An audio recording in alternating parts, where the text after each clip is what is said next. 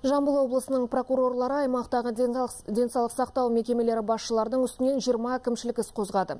Тексеру жұмыстары кезінде науқастарды емдеу, дәрі-дәрмек пен медициналық құрал жабдықтарды сатып алуда бірқатар заң бұзушылықтар анықталған. Мәселен, Меркі ауданында дәрігерлердің салғырттығынан науқас келіншек қайтыс болды.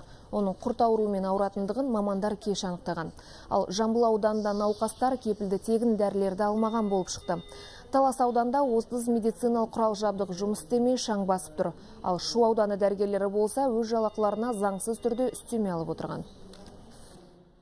Облыс прокуратурасы органдарының тексеру нәтижесімен денсаулық сақтау ұйымдарына жалпы 24 ұсыныс енгізіліп тәртіптік жауапкершілікке 12 тұлға тартылып 20-дан астам әкімшілік жауапкершілікке тартылса 15 миллион теңгеге дәрілік заттарды сатып алу тендерімен наразылықпен бұзылды.